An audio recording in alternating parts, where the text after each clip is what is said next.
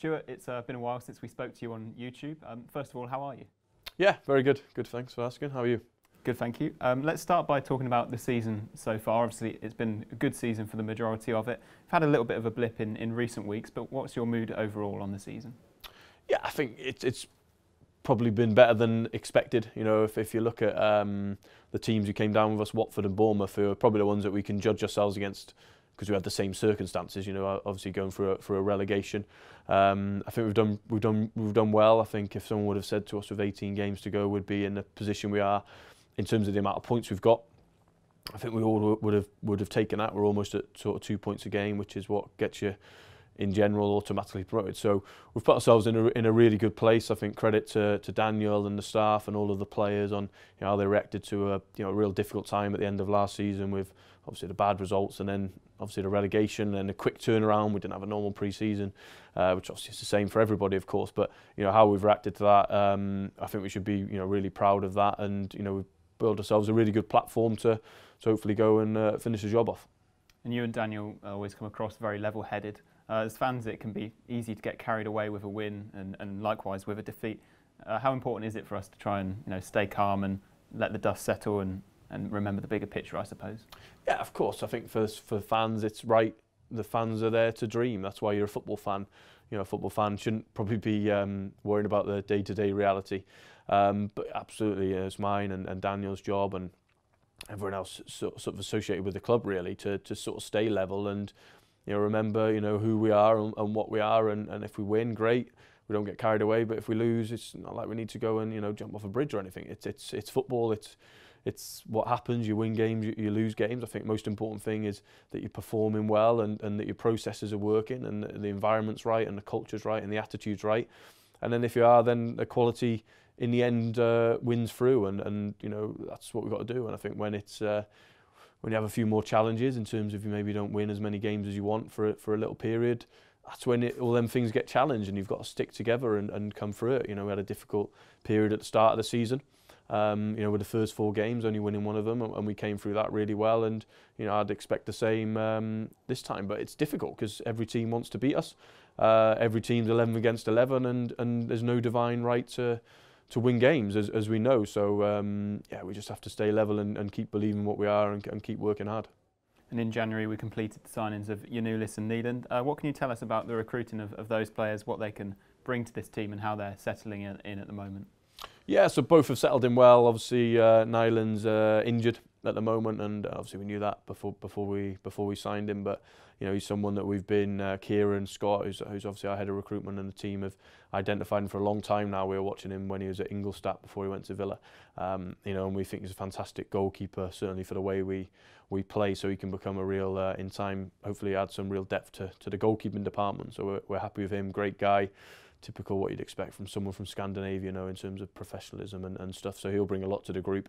And Giannoulis, again, you know, credit to, to Kieran and the team that, you know, again, a player we identified, you know, a long time ago and they've they've kept on him and, you know, the deal sort of came alive to us in December really where we where we never thought it was going to be possible. But I think that shows great in terms of the mentality that, that Kieran and the guys have there of being relentless in their work and in their pursuit of trying to find players that can improve us. Because for us in January, what was important not just to add players for the sake of it, because that, that's easy. It was about adding players who who ultimately make the the group um, a lot better, and uh, we think we've got that in in the pair of them. So I'm really happy with the work uh, that the guys have done. Um, you know, now it's about them settling in, and, and that's where people like Phil Lithgow and the rest of the staff sort of come in to into their own in making sure that off the pitch everything's right, which is obviously in these times quite difficult because you know, it's really hard to immerse themselves in the area and, and the environment, which we know that they'll enjoy once they can. Um, but you know, making what we can in terms of the car and the house as best as it can be uh, to help them hopefully perform as quickly as possible on the pitch. So you're scouting those guys well in advance of signing them. How, how much of an impact is Brexit going to make on, on football signings? Do you think it's it could make things perhaps more difficult in, in certain markets? Um, but do you think that ability to be versatile and adapt to new rules is a strength of yourself and your recruitment team here? Yeah, I think it's going to change uh, recruitment um, forever, probably. Um, and you got you got two options. You can either look at all of the problems uh, that it's created because it's created a lot, or you can look at all the opportunities it's created, which is also a lot. And I think you know part of our mentality in the whole club. Uh, but certainly when it goes down to the recruitment department is, you know, we've got to look at places where other people don't look. We've got to be quicker than than other people because we can't compete on just finances. So we have to we have to be sort of smarter and we have to be quicker and we have to be more aggressive. And you know, we've seen Brexit coming down the road obviously for a few years. It's not a it didn't just happen on the 31st of December. It's been it's been coming for quite a while, you know, and we've planned accordingly within the recruitment department, but also within the investment in the academy and in the infrastructure and and the time and effort we put in to producing our own players because we knew that they'd become a a premium and a need to produce your own players. So that's why four years ago we, we made that call to invest as heavily as we have done in the academy. But then also within the recruitment of um, setting off in certain projects around Asia um, and South America in preparation for if the rules changed in the direction we expected, which they have, uh, that we could be prepared uh, to give it our best shot. And, and that's what we've tried to do. Doesn't mean it'll work, doesn't mean we'll be any better. But you know, you sort of adapt or you die, and, and that's you know very much our sort of philosophy. What we can't do is sit here and, and moan or, or make excuses. We've got to find the opportunities in it, and, and maybe let other people moan and, and make excuses while we're maybe you know trying to do some work and gain an advantage out of it. It's similar to the last time that we spoke on YouTube, which was after the relegation in um, July. And you said your job then was to get your head around the situation and, and get on with it. So that's the same approach we've got here with those new rules, I suppose. Yeah, it has to be. You know, like I say, I think in life you, you adapt or die. And, you know, it's like the COVID situation. You, you got two options. You, you sit at home and, you know, just eat and put on about four stone, or you take the advantages of travelling less and go, right, I'm going to exercise more, I'm going to spend more time with family, I'm going to get to know my, my son better or my wife better or whatever it is. And I think it's like everything in life, it's about the, the mindset that you approach a situation with because if you want to just find the bad in stuff, that, that's, that's really easy. I think it's finding the opportunities in it, which is which is uh, which is harder, but what we need to do. And, and fair play so far, uh, the staff are doing that really well.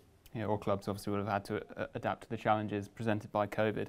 Uh, we managed to avoid having any cases here for a while, but when they did come, how pleased were you with the way that it was prepared for and dealt with and how we responded to that?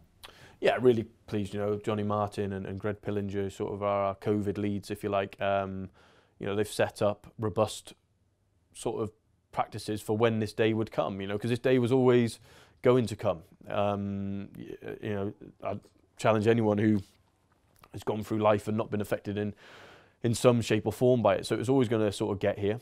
Uh, after that Christmas period, the whole country was always going to be at risk of um, the of it spiking. And that meant that we were at risk of it spiking and football was at risk of it spiking. And, and, and that's what happened. We had some cases here, but, you know, we've got a top-class doctor who's dealt with it brilliantly throughout and stayed calm throughout and stayed, you know, very much focused on the sort of job in hand. And, and when something happens, it's about your sort of processes coming to the fore and And you know, when we had the challenges, you know, we, we sat down as a group and spoke about we knew this was coming.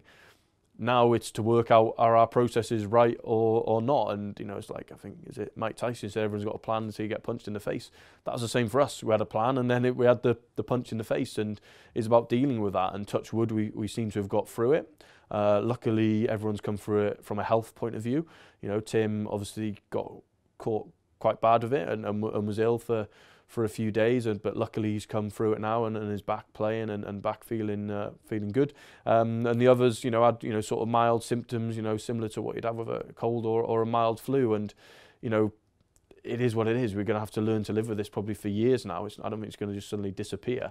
Um, but it's about you know learn to deal with it, and then not when it does happen, don't, don't panic. It's it's it's all right. Let's you know let's work through it, um, and that's what we've done. And you know really proud of all the staff and all of the players because like everyone in life, they've had to make a lot of sacrifices um, to keep the environment as safe as possible because we, you know, they, they don't have the option of just sitting at home uh, during this period. You know, we can't furlough, you know, Teemu Pukki, for example. You know, he's someone with a young child at home who has to take all the precautions he can to make sure that his teammates and staff are safe here. And, you know, credit to all of the players and staff for the responsibility that they've shown during this period.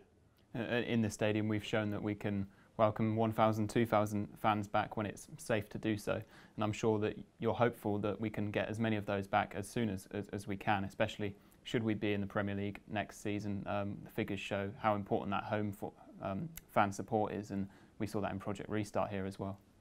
Yeah, I think, let's be honest, football, or not just football, I think any sport without fans is it's just not the same. Um, you know, it, it, it's about you know. Let's be honest, it's an entertainment business, and I know it's been great for people to watch so much football on TV. So at least it's kept people entertained at home. So 100% getting it going back in March um, or May or whenever we restarted Project Restart um, was the right decision because I think it's brought a lot of happiness to people that if nothing else in their lives, they can put football matches on at night, and there's been more free to air available, and like the cricket's been free to air in India this week, you know, which is important because sport is is massive for people just to have something in their lives. Um, but you know, for proper football fans who go to football or football players who play in front of crowds not having them is is horrible, and and we need to get fans back as quickly as we as we can and as as, as soon as it's safe not for Norwich City, but for football in general, whether that's your Kings Lynn, whether you're Ipswich Town, whether you're Norwich City, it's, it's actually irrelevant. You know, every club needs their supporters back because, most importantly, them supporters need to be back because for lots of football fans, the highlight of their week is going to watch their team play. um, their community is watching their team play, stood next to the man or woman that they stand next to every other Saturday afternoon and have a pint with or have a moan with or whatever or maybe it's uh, going to the pub before the game or after the game or maybe it's meeting up with their with their mum or dad for once every two weeks to go and watch football. And it's that sense of community which is being lost um, which we've got to get back. More so than atmosphere and stuff like that because I think that's we all know that how you know that's what football's about but I think it's uh, for the people who come and watch that sense of community we you know as a whole country, we've got to try and get back back as quickly as possible because you know that will cost, in my opinion, as many lives as what COVID costs. You know, is um, you know people who will uh, will die of loneliness, and we've got to try and avoid that if we can.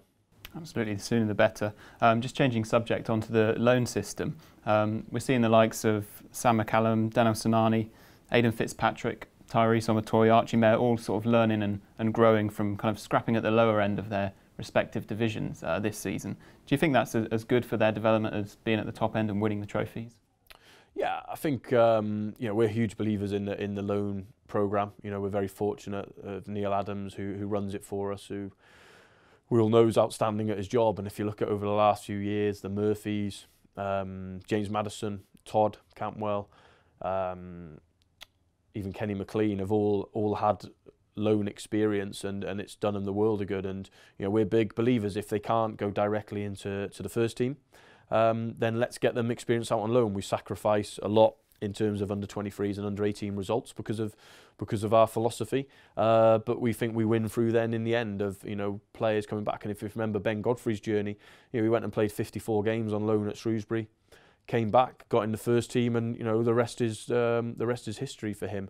Uh, you know, same with for Todd. He went away to the Dutch second division, played, got promoted there, come back, got in the team, and again, the rest is history. So it's a really important part of, of, of all of their journeys um, because, you know, whether it's off the pitch development, whether it's on the pitch development, whether you're Archie playing and getting beaten up every week because you're a big goalkeeper and they're chucking crosses on top of you, whether it's Tyrese who turned up late for a uh, meeting last week and that meant he was dropped out of the team he's got to learn that. He's 18. He's got to learn that you know what if you don't turn up for a meeting, you get you, guess what? There's a there's a there's a consequence to that. We can't give him that experience. You know that that's real life experience on the job, um, and that's what these young guys are. They're you know they're young, they're young men who are learning to be the best professionals they can be, and they need to go and make mistakes, whether that's on the pitch. You know Archie giving away a penalty or. Sinani missing an open goal or Tyrese missing a header or something They have to experience that. That's how you that's how you get better. That's how you that's how you learn. You know, Sam McCallum a couple of weeks ago gives away a penalty. You know, and I went to his game on Saturday against Watford to see how he reacted, and he's playing against the the winger there, Sarr, who obviously cost 40 million, and his reaction was brilliant. He gives Sarr nothing, and that's what we want to see. Did you learn from the previous week where you've given a penalty away, or do you crumble?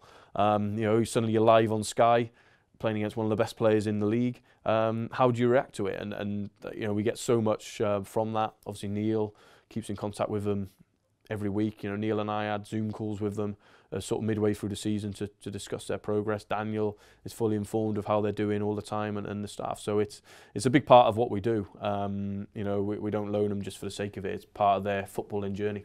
And the philosophy of, of backing young players is clear to see here for the, for the players who are here as well. The likes of Josh Martin and, and Bali Mumba when he came on and made a really impressive debut at home to Swansea. What have you made of their progress? Yeah, brilliant. You know, I think credit goes to, to the boys first and foremost. um, because we can only take them to the door.